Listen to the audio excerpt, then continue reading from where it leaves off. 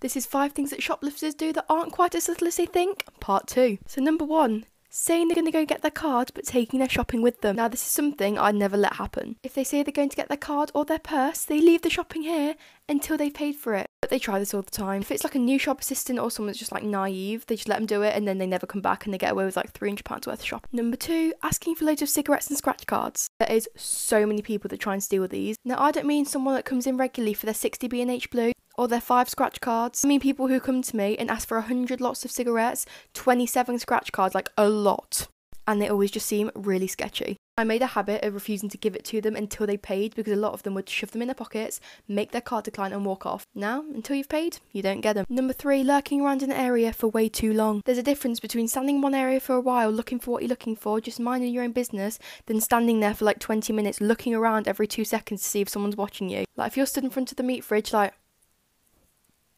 you can look suspicious. Number four is wearing specially altered clothing. Sometimes these are hard to spot, but sometimes they're really not. There's all sorts of different things out there, but one of the popular ones is like coats with extended pockets. But most of the time you can tell, I promise you. And if we see you trying to shove a bottle of whiskey and a joint of pork in one pocket, we're going to ask you why. And number five is literally people putting things in their pockets. They think they're being so slick.